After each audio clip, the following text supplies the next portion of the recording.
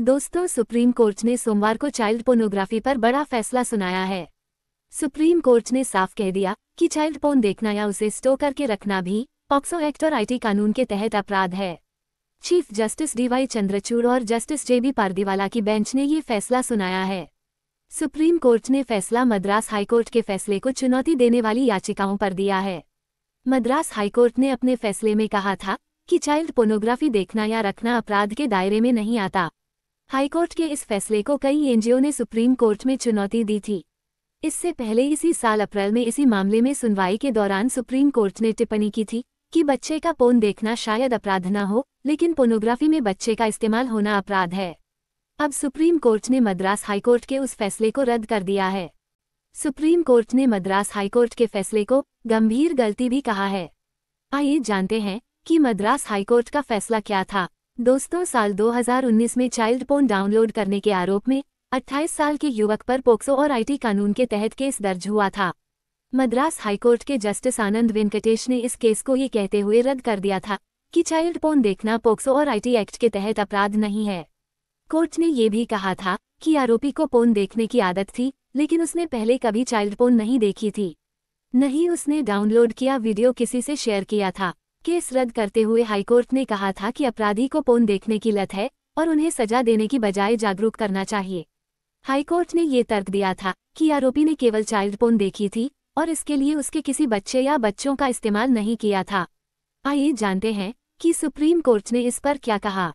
दोस्तों, supreme court ने कहा कि पोक्सो एक्ट की धारा पंद्रह के अनुसार चाइल्ड पोन देखना, रखना, प्रकाशित करना या उसे प्रसारित करना अपराध है।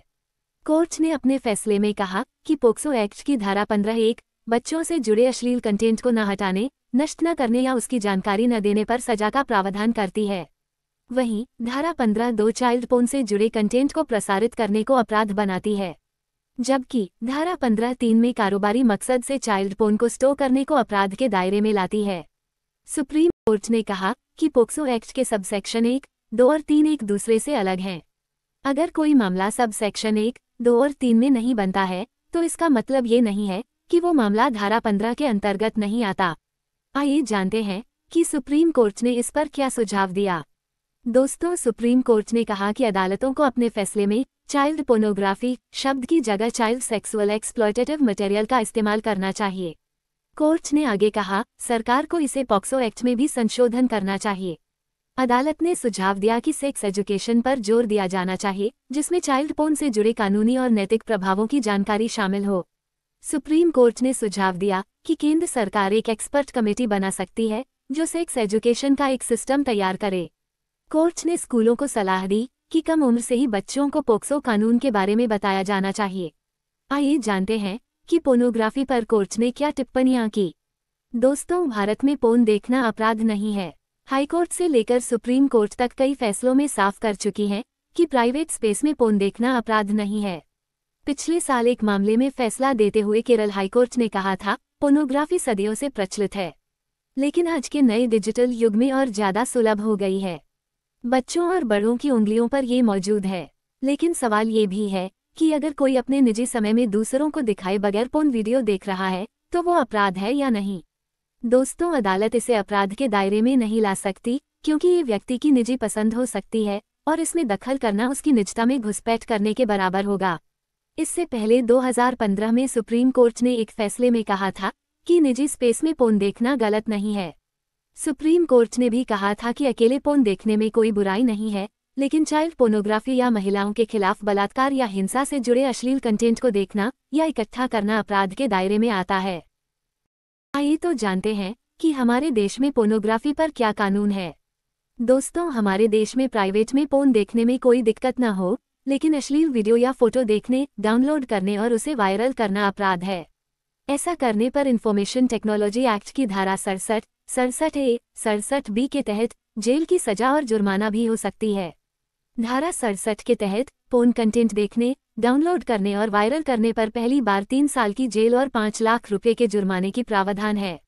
दूसरी बार पकड़े जाने पर पाँच साल की कैद और दस लाख रुपए के जुर्माने की सजा हो सकती है। वहीं धारा सड़सठ ए के तहत मोबाइल में पोन कंटेंट रखने और वायरल करने पर पहली बार पकड़े जाने पर पाँच साल की जेल और दस लाख रुपए के जुर्माने की सजा हो सकती है। दूसरी बार पकड़े जाने पर सात साल की जेल और दस लाख रुपए के जुर्माने की सजा का प्रावधान है। वहीं धारा सड़सठ बी कहती है कि अगर किसी के मोबाइल में चाइल्ड पोर्नोग्राफी से जुड़ा वीडियो या फ़ोटो मिलता है तो पहली बार पकड़े जाने पर पाँच साल जेल और दस लाख के जुर्माने की सजा होगी। दूसरी बार पकड़े जाने पर सात साल जेल और दस लाख रुपये का जुर्माना चुकाना होगा। इसी तरह भारतीय न्याय संहिता की धारा दो सौ चौरानवे, दो सौ पचानवे और दो सौ छियानवे में भी सजा का प्रावधान है। धारा दो सौ चौरानवे के तहत अश्लील वस्तुओं को बेचने, बांटने, प्रदर्शित करने या प्रसारित करना अपराध है। ऐसा करते हुए पहली बार पकड़े जाने पर दो साल तक की जेल और पाँच हज़ार तक का जुर्माना लग सकता है। दूसरी बार पकड़े जाने पर पाँच साल तक जेल और दस हज़ार रुपये का जुर्माना लगाया जा सकता है। जबकि धारा दो सौ पचानवे के तहत किसी बच्चे को अश्लील वस्तु दिखाना, बेचना, किराए पर देना या बांटना अपराध है।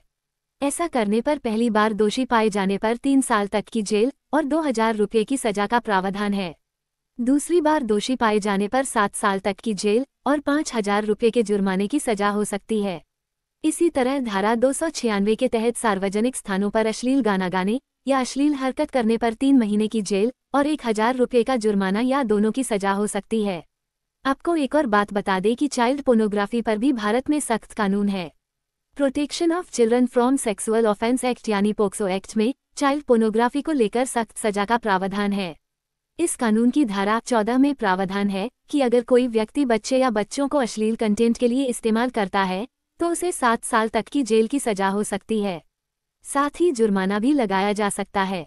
वहीं, पॉक्सो एक्ट की धारा पंद्रह कहती है कि अगर कोई व्यक्ति चाइल्ड पोर्नोग्राफी से जुड़ा कंटेंट अपने पास रखता, किसी और को भेजता है, या उसका कमर्शियल उपयोग करता है तो उसे तीन से सात साल तक की जेल या जुर्माना या दोनों की सजा हो सकती है। जानकारी अच्छी लगी हो तो वीडियो को लाइक और शेयर करना ना भूले। साथ ही हमारे चैनल को भी सब्सक्राइब करें ताकि आप लोगों को इस तरह की वीडियो मिलती रहे।